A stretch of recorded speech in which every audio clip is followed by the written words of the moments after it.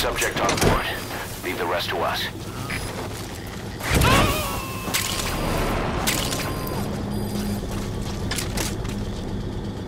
You gotta extract him.